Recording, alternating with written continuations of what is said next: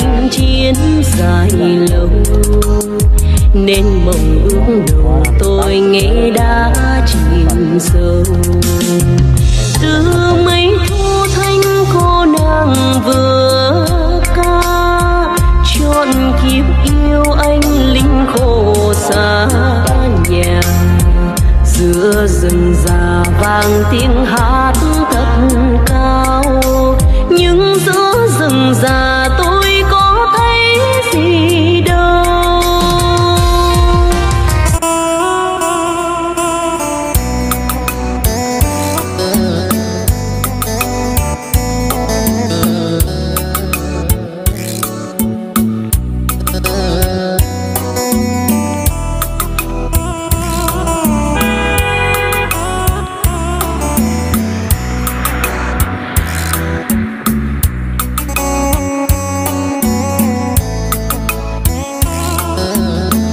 ไง